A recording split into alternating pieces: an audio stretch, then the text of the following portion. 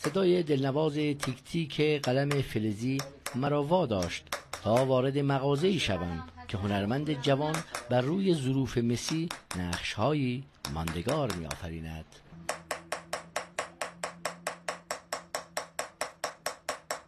قدمت قلمزنی به تاریخ هنر برمیگردد و از زمانی که انسان توانست جوهره وجودش را بر روی فلز به یادگار بگذارد این هنر ماندگار شد. خانم احقاقی هنرمندی است که با ضربات چکشش تصاویری ماندگار را بر روی مس خلق می کند مادرم و برادرم مشوقم بودن.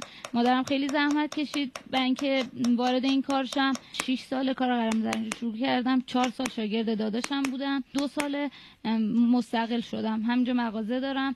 هم فروش ظروف مسی داریم و همین که کار قلم زنی رو انجام میدیم. ظروفی که قرار است بر روی آن کار شود ابتدا پر از غیر می شود و سپس تصاویر با کاربن بر روی مس انتقال می یابد و آنگاه کار قلمزنی بر روی مس آغاز می شود یه سری از مشتریامون حضوری میان و طرحهایی که توی مغازه داریم و کاتالوگی که تهیه کردیم از نمونه کارهامون می‌بینن و بهمون سفارش میدن و یک سری ها تو محیط های مجازی هستن که براشون پست می‌کنیم.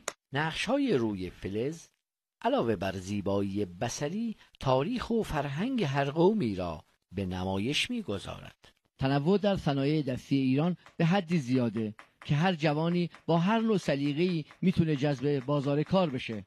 به شرط اینکه جوهره اون کار را داشته باشه.